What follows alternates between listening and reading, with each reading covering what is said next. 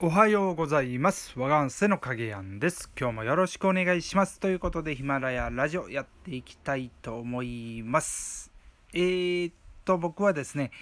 えー、去年ですね、去年のまあ年末12月ぐらいからちょっとこうね、えー小説をね、またこう読むようになっててですね、昔はね、こう何冊かこうよ、何冊かいうか、その、ちょっと読んでた時期もあったんですけども、ずっとこう読んでなくてですね、えー過ごしてたんですけども、まだ去年ね、お客様の影響でね、えー読むようになったんですね。で、えー読むようになってですね、その、まあ、読書時間をね、なかなかこう、確保できひんような、こう、日もあるんでですね、なんとかこう、読書時間をこう、確保するためにですね、僕は、風呂場、えーお風呂に浸かってですね、えーお湯に浸かって本を読むようにしてます。で、最低ね、おお風呂、お湯にはですね、20分以上浸かるようにしてます。で、20分以上使ってる、その間ずっとこう本を読むと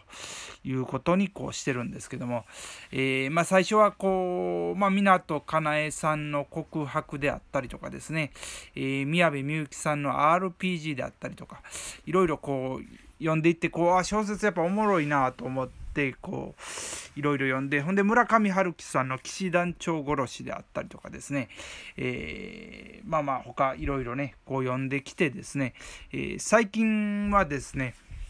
ちょっと三島由紀夫さんの、えー本を読もうと思って、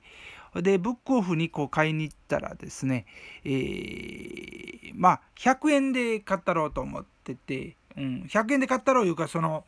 本当は金閣寺を読みたかったんですね。で、金閣寺を買おうと思ってたら、ちょっと売ってなくてですね、ほんで、ああまあ、金閣寺売ってないなと思って、100均コーナーの方の三島由紀夫のとこ、三島由紀夫さんのとこを見てたらですね、えー命売りますっていうね、えー本があってですね、あ、なんか面白そうだなと思って、えー購入しました。で、その本を、えー先日読み終えました。で、今はまた違う、えー小説、えー三島由紀夫さんではないですけど、違う小説を読んでるというところで、命売りますをこう読みました。うん。まあまあ、あのーちょっと三島由紀夫さんの本は初めて読んだんですけども、うん、ちょっと、うん、なんかこう、こう深層心理、こう奥深くこう表現されてるようなこう小説をこうイメージしてたんですけども、意外とこうエンタメ的な感じというかね、うん、まあまあ、あの小説自体まあ面白くこう読ませてはいただいたんですけどもちょっとち僕のイメージとはちょっと違う内容だったなと内容というかね。うん。まあその小説自体は面白いのは面白いとは思いますけどもやっぱりちょっと金閣寺をちょっと読んでみたいなと思っておりますだ、えーもう一冊ねその三島由紀夫さんの本も買ってるんでまたそれもまた読みますけどもうんやっぱりその一番代表作の金閣寺をこう読んで、えーどんな感じかなというところをこう、えー思っております。うん、でまあまあ内容としてはですねそのまあ、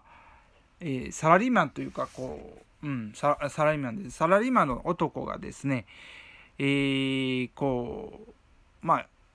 死のうと思ってね、まあ、自殺しようと思ってこう自殺しようとしたんですけども死ねなくてですね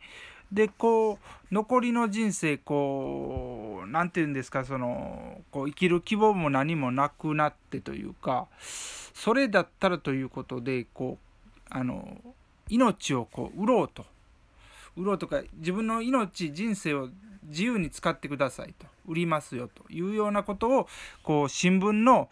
えーまあ広告欄というかそういう昔はねそういうのがあったんでしょうけどもね、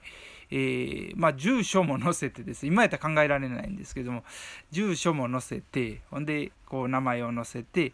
でこう募集したんですね。命を売ります。値段とか別に決まってなくてですね。でそこにこうその主人公の命を買うためにですね、えーまあ人が来てでこういうことをしてくれっていうこう依頼を受けてですねそれをやってでもしかしたらその命を落とすというかそういう可能性もあるっていう形でこう、えー、やっていってほで、えー、もちろんそれでは死ななくてそれで、えー、進んでいくと。ほんで依頼人が何人かこう変わっていくという中でですね、え最初はだから、えその主人公はね、え命を全然その自分の命が惜しいとか全然思わなくてもうこれで亡くなる死ぬんやったらもうそれでええっていう感じで進んでたんですけどもだんだんとねこうまあだんだんというか最後らへんはこうちょっと自分の命が惜しくなるような感じになったりとか、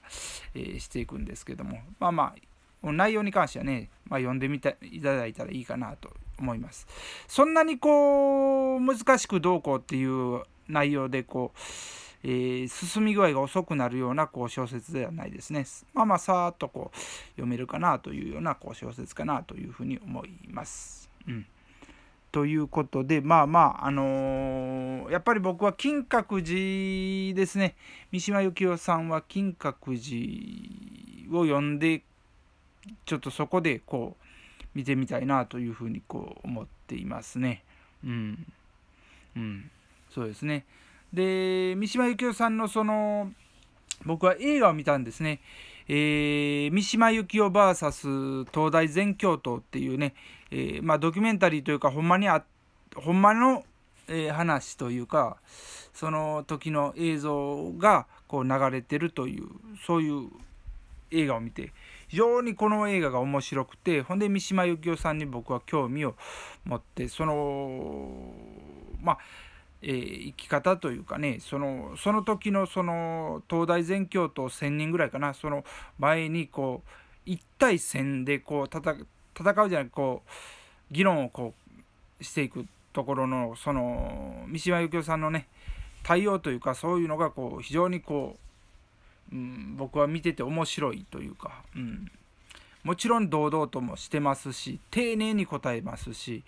えー、その辺の態度がすごくいいなというふうに僕は思ったんですね。でこの人が書く小説っていうのはどんなんかなと思ってこう、えー、買いに行ってると。でもうちょっとねこう何冊かこう読んでみたいなというふうに思います。ということで今日は「命売ります読了しました」ということについてお話しさせていただきました。では今日もよっしゃでいきましょう。どうもありがとうございます。